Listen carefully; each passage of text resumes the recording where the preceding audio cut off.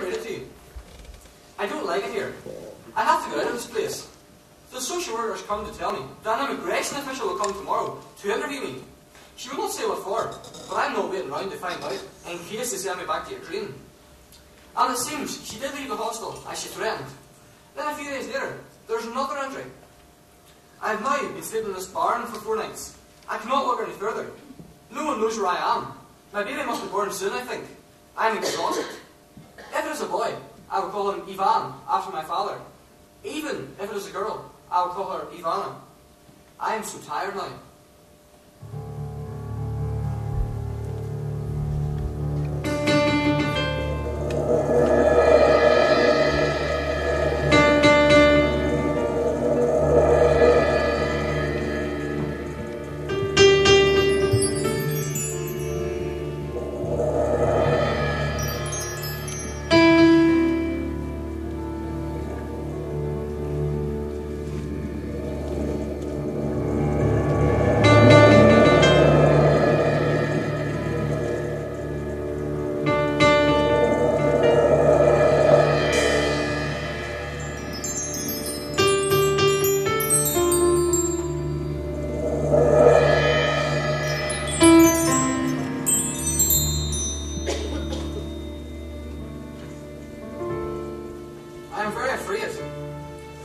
So much pain.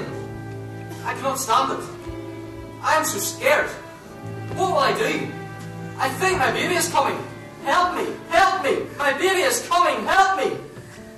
Oh, so much pain! My stomach! My baby is coming! What will I do?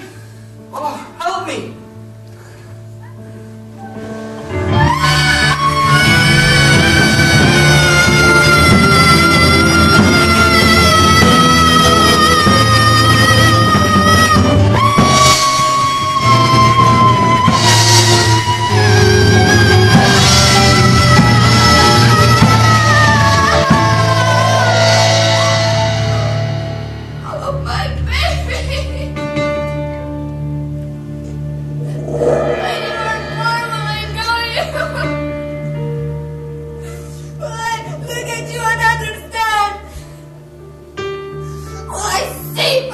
first time the man who done this to me.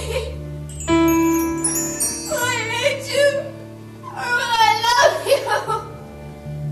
I cannot hate someone I do not know, can I? I just wish I could escape from this pain. Oh, oh no! Oh.